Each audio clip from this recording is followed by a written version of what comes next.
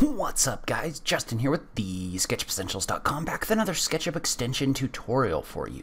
So today we're going to talk about an extension that I covered a couple weeks ago for aligning objects within SketchUp. And before we get started, today's video is brought to you by the SketchUp Essentials course. The SketchUp Essentials course is a course that I created to give you a start to finish training for SketchUp.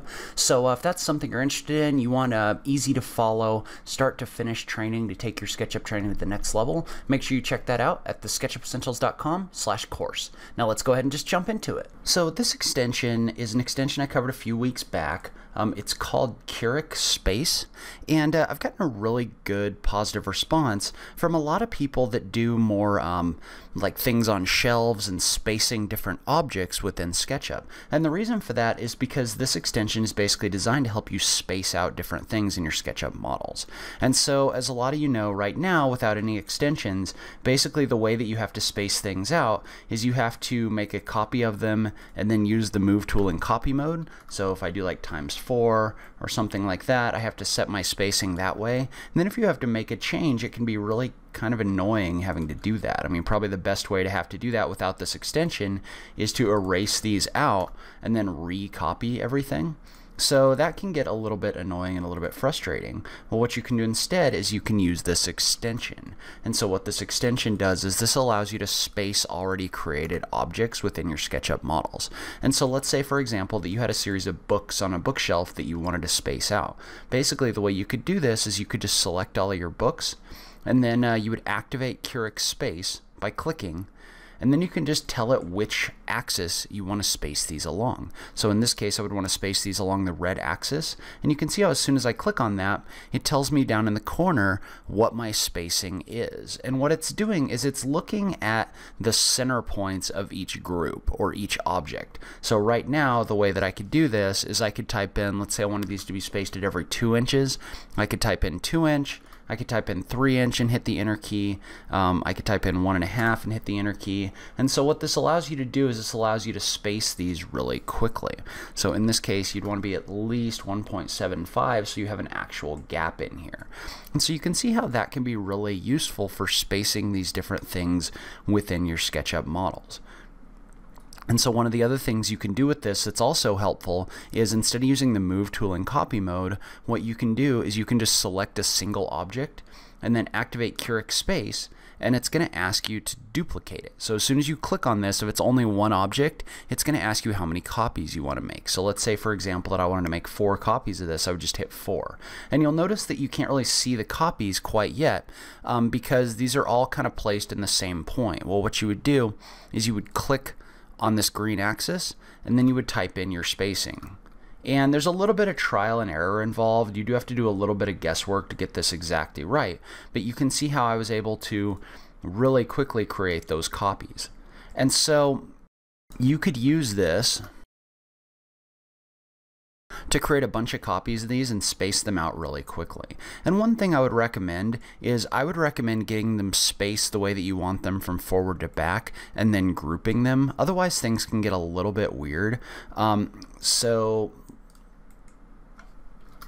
we'll do four on this one. I'll type in four inches. I'll move this forward a little bit and we're actually going to use another extension from Curic in just a second.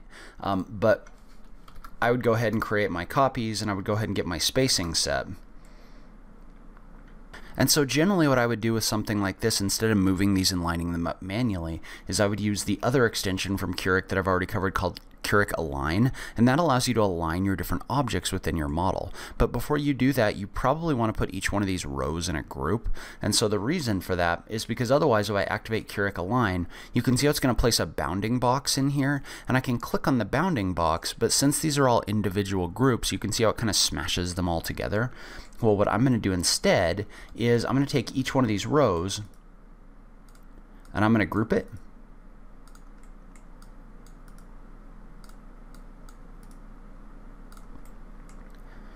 And so now I can take all four of these and I can align them very quickly to the front of this box. And so I can use Curic Space to space all of these on this shelf.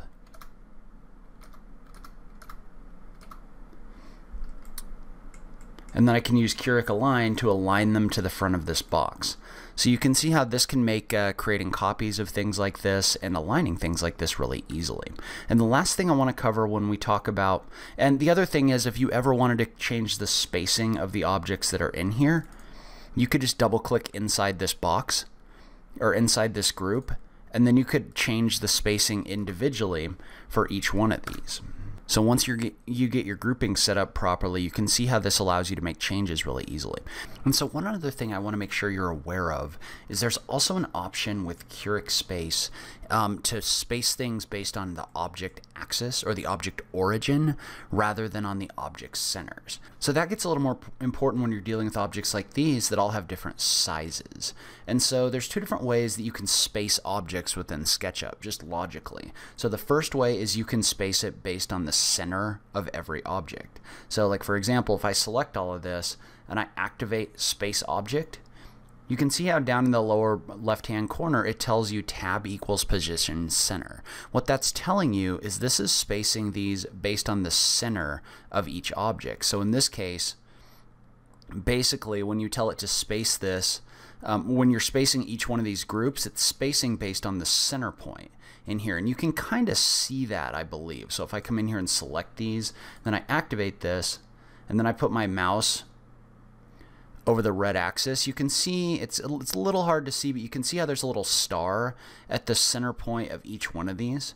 So as I move my mouse, you can see how there's a star here, there's a point here, there's a little star in here. So basically that's telling you that that's the point that's being spaced. Well, you can also tell this to space off each object's origin. And so what the origin is, is the origin is basically where the axes intersect. So your model has an origin, and then each object has an origin as well. So if I double click in here, the origin for this group is actually this corner right here. You can see how the axes intersect. And so that's important because for right now, for each one of these objects, if I was to tap the tab key, you can see how this changes in the lower left hand corner to position equals origin. Well now if I move my mouse over the red axis on each one of these objects, you can see I'm getting a star right here, basically along the actual corners of these objects. So the little stars are showing you where that's going to be, but that means if I set my spacing based on the origin, it's going to be a little bit different. So if I was to type in 4 inches, or 5 inches.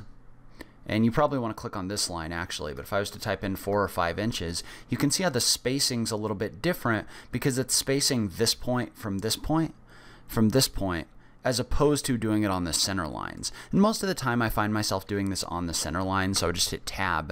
And then if I was to type in 4 inches here, you can see how these are more well spaced.